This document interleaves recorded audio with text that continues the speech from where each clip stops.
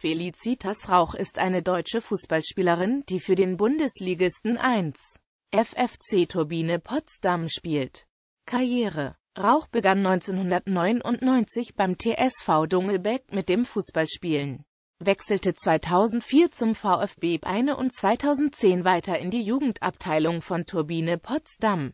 2012 wurde sie mit Potsdams B-JuniorInnen nach einer 2:3 Finalniederlage gegen die TSG 1899 Hoffenheim deutsche Vizemeisterin und gehörte ab der Saison 2012-13 dem Kader der Zweitligamannschaft an.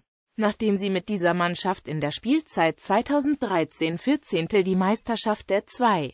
Bundesliga Nord errungen hatte, rückte Rauch im Sommer 2014 in die erste Mannschaft auf.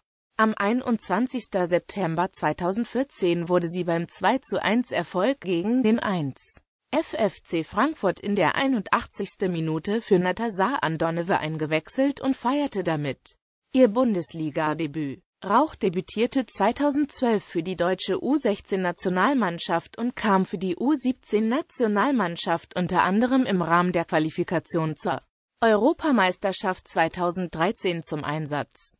Nachdem sie mit der U19-Nationalmannschaft die Qualifikation zur Endrunde der Europameisterschaft 2014 verpasst hatte, nahm Rauch im Sommer 2014 mit der U20-Nationalmannschaft an vom 5. bis 24. August 2014 in Kanada ausgetragenen U20-Weltmeisterschaft teil. Dort bestritt sie alle sechs Turnierspiele und wurde mit dem 1:0-Sieg in V im Finale gegen die Auswahl Nigerias Weltmeisterin. Am 17. November 2015 wurde sie von Bundestrainerin Sylvia Knight in den Kader der A-Nationalmannschaft für das Länderspiel gegen England berufen und kam dann auch zu ihrem ersten Einsatz. Erfolge Meister 2. Bundesliga Nord 2013 14.